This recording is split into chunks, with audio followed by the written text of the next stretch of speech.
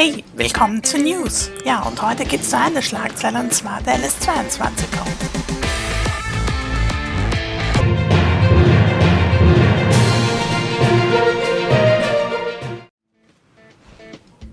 Ja, nun endlich ist es soweit. Der LS22 wurde heute offiziell von Shine Software angekündigt.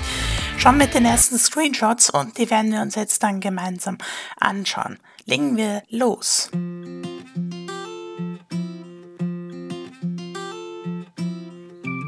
Ja, bevor wir jetzt noch, auch nochmal mit den Screenshots starten, zeige ich euch noch zuerst mal ein paar allgemeine Informationen.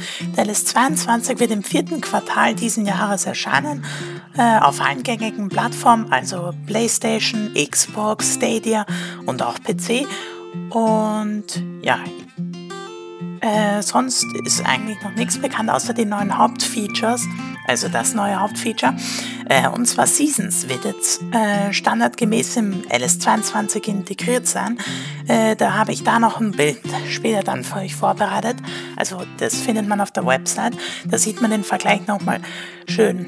Ja, und sonst wurden, bisschen, äh, wurden viele Details dazu gebracht. Mehr dazu schauen wir uns aber später äh, gleich an.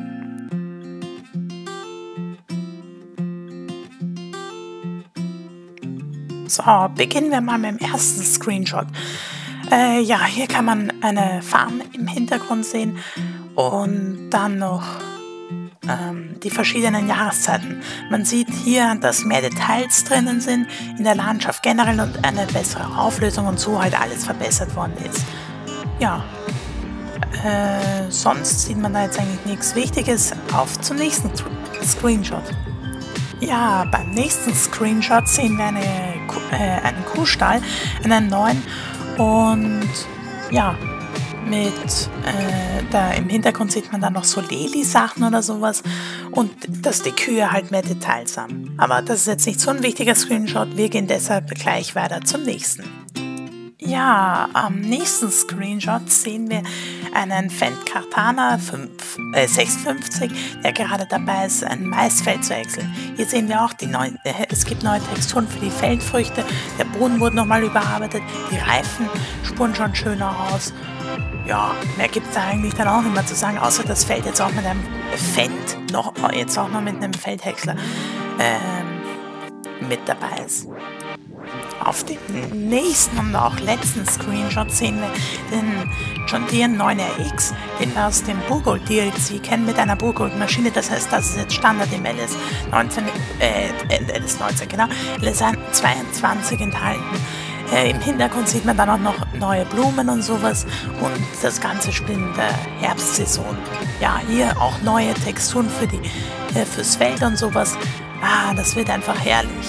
Ja, sonst gibt es eigentlich hier nichts für diesen Screenshot. Und jetzt sage ich euch noch kurz, welche Maps es geben wird.